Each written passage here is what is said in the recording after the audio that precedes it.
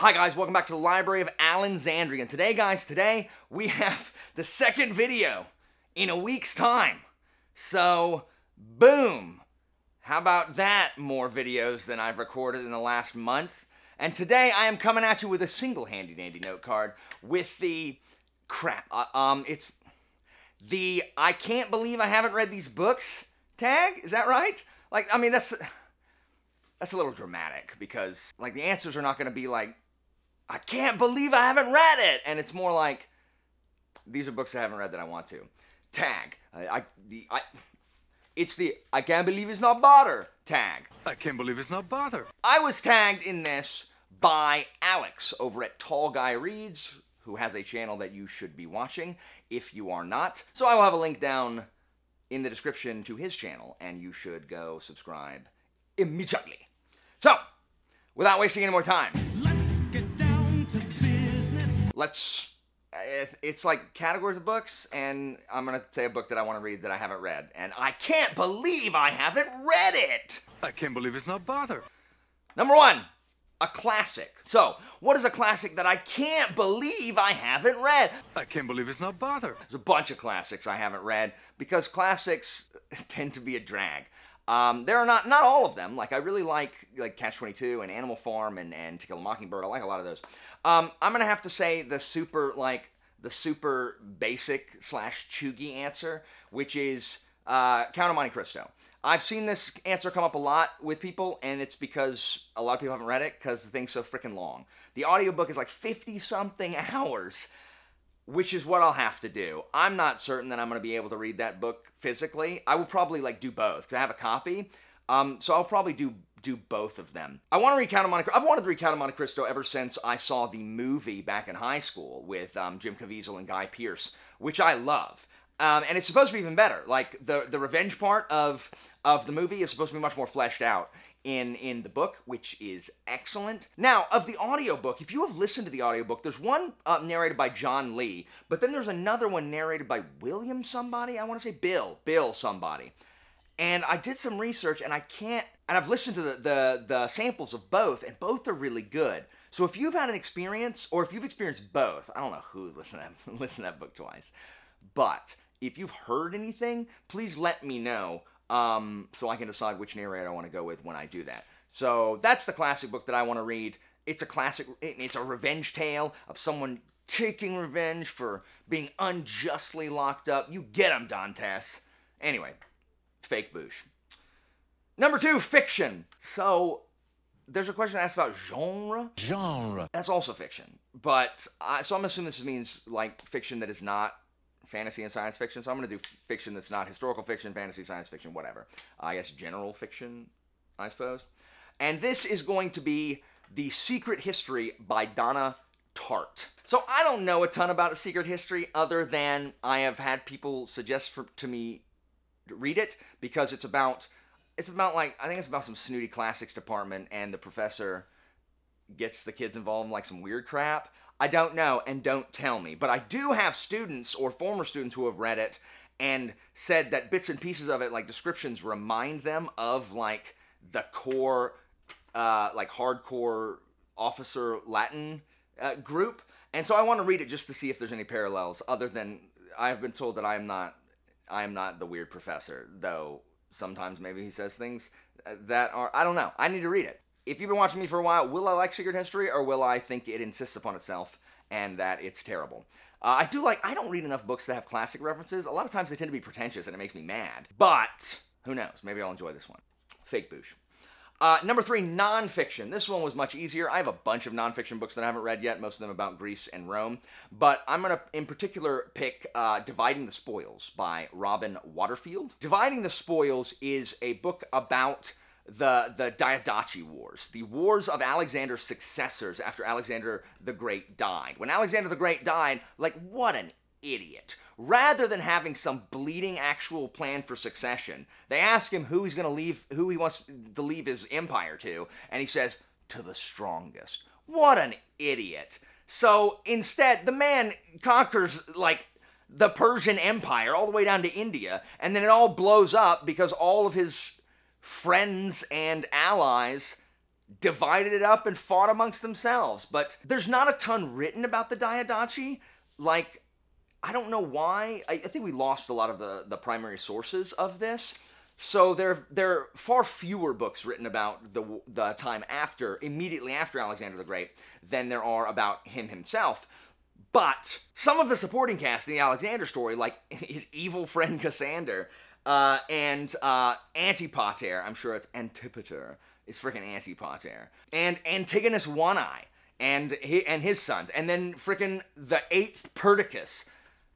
Sounds super fascinating. I definitely love reading about succession wars. That's part of why I like, you know, political fantasy is wars of succession. So, yeah, dividing the spoils by Robin Waterfield. Fake boosh. Number four, genre book. Genre. So I'm taking this to be fantasy or, or sci-fi.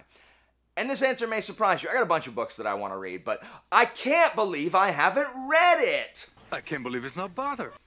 I'm going to say Way of Kings by Brando Sando, book one of the Stormlight Archive. And here's why. One, that book's flippin' long. It's so long. It is so long.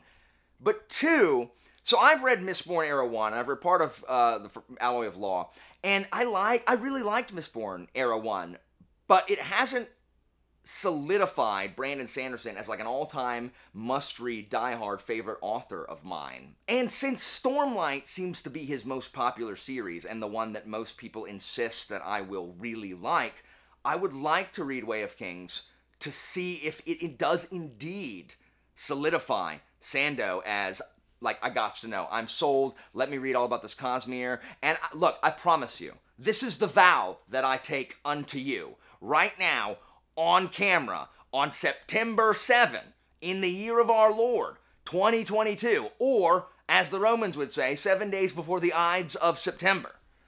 I swear, I will never say the word implications if I read Brandon Sanderson book because I am counting down. I have my bingo card all made made up.